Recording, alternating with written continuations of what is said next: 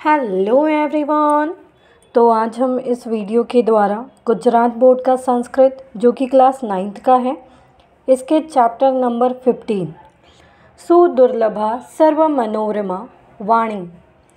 Rare is the speech that wins over everybody's mind ऐसी वाणी बहुत ही कम है दुर्लभ है, जो सबको अच्छी लगे, सबको पसंद आए। तो ये इस चैप्टर का पार्ट वन है, जिसमें हमने इस चैप्टर के कुछ हिस्सों को लिया है। बाकी बचे हुए हिस्सों को हम पार्ट टू में कंप्लीट करेंगे। तो आइए, इसे हम स्टार्ट करते हैं।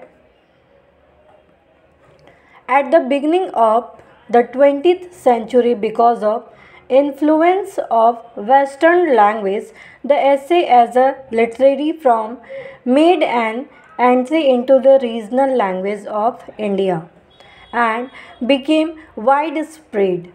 During this period, scholars of Sanskrit wrote many essays on both traditional as well as modern topics. With the passage of time, these essays found a place in Sanskrit language, academics also. बीसवीं शताब्दी के प्रारंभ में हमने देखा कि जो पश्चिमी भाषाओं के प्रभाव के कारण साहित्यिक यानी लिटरेचर में निबंधों ने ऐसे ने अपना एक स्थान बनाया तो साहित्यिक रूप में निबंध ने भारत की क्षेत्रीय भाषाओं में प्रवेश किया और ये व्यापक हो गया, बढ़ता ही गया इस समय में संस्कृत के विद्वानों ने भी पारंपरिक और आधुनिक दोनों ही विषयों पर अनेक निबंध लिखे, अनेक ऐसे लिखे। जैसे जैसे समय बीता, इन निबंधों को संस्कृत भाषा के जो शिक्षाविद है, उन्हों, उनके सामने भी इनको जगह मिली। तो समय जैसे जैसे बीता, इन निबंधों को संस्कृत भाषा के शिक्षाविदों में भी जगह मिल गई। The Sanskrit essayist Pandit Charudas Shastri is a well known name He has written beautiful collection of essays in Sanskrit called Prastavatarangini. Here is presented an edited version of his essay titled Sudurlabha Sarva Manorama Vani. यहाँ पे बताया गया है कि संस्कृत निबंधकारों में पंडित चारुदत्त शास्त्री एक जाना पहचाना नाम है। उन्होंने संस्कृत में प्रस्तावरंगिणी नामक निबंधों का एक सुंदर संग्रह किया, कलेक्शन है। उन्होंने अपने निबंध सुदुर्लभा सर्व मनोरमा वाणी का संपादित संस्करण भी हमारे सामने प्रस्तुत किया है। The main idea presented in the essay is that there are various kinds of people in this world. The taste and interest of everyone is not the same.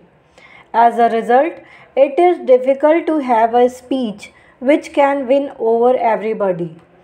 Hence, it is not necessary that every poem or writing will be liked by everybody.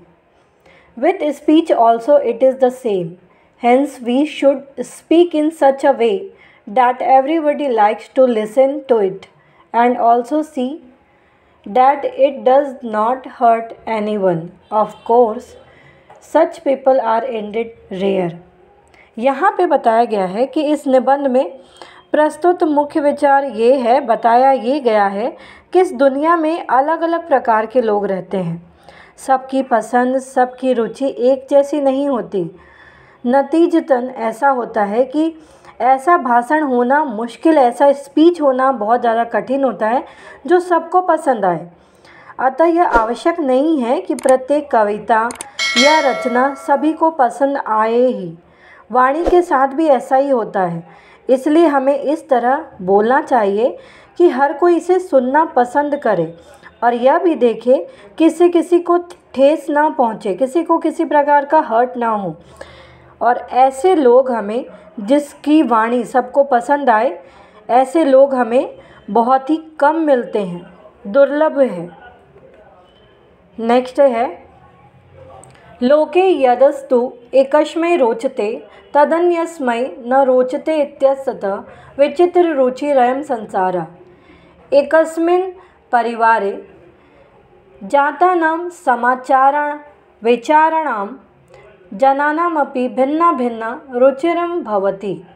किं पुनः विभिन्नेषु परिवारेषु उत्पन्नानां जनानां वार्ता। समानपितृकेषु पुत्रेषु कश्चित् मधुरं रोचते, कश्चित् लवणं, कश्चित् चाम्लं रसमिति एवं हि कश्चित् काव्यं रसयति कश्चित् नाट्यं, कश्चित् शिल्पं, कश्चित् च गणितम्। एवमेव कश्चित् शृङ्गारः प्रियो भवति कश्चित् वीरः कस्मै कस्मैचित् करुणा कस्मैचित् च हास्यरसः। विरलाय कस्मचित् जनाय विभत्स विभत्सरसोऽपि रोचते इति नानात्वं रुचीनां व्यवस्थितं भवति। यहाँ पे बताया गया है कि इस दुनिया में जो चीज़ एक व्यक्ति को पसंद आती है वह दूसरे को पसंद नहीं आती। इसलिए ये दुनिया विभिन्न स्वादों के लोगों से भरी हुई है। सबके रुचि अलग है, सबके टेस्ट अलग है। एक ही परिवार में आप देखेंगे कि जन्म लेने वाले, समान व्यवहार और विचार रखने वाले व्यक्तियों का स्वाद भी अलग होता है। सोच एक जैसी होगी, व्यवहार एक जैसा होगा, लेकिन दोनों का टेस्ट अलग होगा, दोनों का स्वाद अलग होगा। तो विभिन्न परिवार के या विभिन्न प्रकार के परिवारों में जन्म लेने वालों के बारे में तो क्या ही कहा जा सकता है? यहाँ ये भी बताया गया है कि एक ही माता, पिता वाले बच्चों में भी किसी को मीठा पसंद होता है, किसी को नमकीन, किसी को खट्टा पसंद होता है। वास्तव में इसी प्रकार किसी को कविता पसंद होता है, किसी को नाटक, किसी को मूर्तिकला और किसी को गणित अच्छा लगता है। इसी तरीके से किसी को श्रृंगार किसी को वीरता, किसी को करुण रस, किसी को हास्य रस, ये साहित्य का सबको शौक होता है, सबके पसंद अलग अलग होते हैं।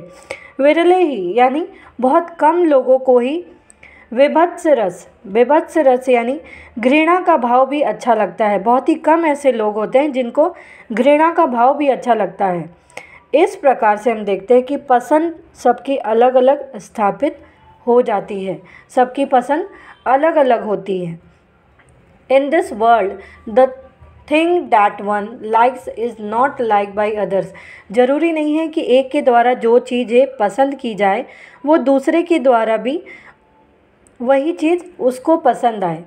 So this world is full of people of various taste अलग अलग प्रकार के लोगों से ये वर्ल्ड भरा हुआ है। Persons born in the same family having similar manners and thoughts also have different tastes. What can be said of those born in different kinds of families? जब एक परिवार में जन्म वाले सिमिलर मैनर में हो सिमिलर थॉट हो उसके बाद भी दोनों के टेस्ट अलग होते हैं तब तो अलग अलग परिवार में जन्म लेने वाले लोगों के बारे में कहना ही क्या Among the children having the same parents, one likes sweet, one likes salty, and one likes sour. Ended in the same way, someone likes poetry, someone drama, someone likes sculpture, and someone likes mathematics.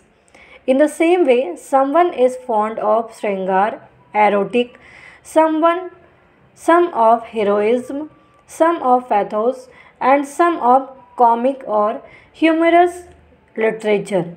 A very rare person likes the sentiment of disgust also. Thus, the variety of liking is established. तो यहाँ पे यही बताया गया है कि same family में जन्म लेने वाले सिमिलर मैनर हो सिमिलर थॉट हो जब उनकी पर्सन उनके टेस्ट अलग अलग होते हैं तब तो अलग अलग परिवार में जिन्होंने जन्म लिया है उनकी बात क्या कही जा सकती है एक ही परिवार में अलग अलग बच्चे जो होते हैं किसी को मीठा पसंद होता है किसी को सॉल्टी किसी को खट्टा उसी तरीके से किसी को कविता पसंद है पोइट्री किसी को ड्रामा पसंद है किसी को स्कल्पचर मूर्ति कला पसंद है किसी को गणित पसंद पसंद है किसी को श्रृंगार रस किसी को वीर रस किसी को हास्य रस इसी प्रकार से कहा गया है कि किस, बहुत ही ऐसे कम लोग देखने को मिलते हैं जिनको घृणा वाली चीज़ें पसंद हो, बेभत्स रस पसंद हो। तो अलग अलग प्रकार के लोग हमें मिलते हैं और अलग अलग उनका टेस्ट भी होता है। एवं सती एका एव वाणी सर्वस्व मानसम संतोषितुम नहारती।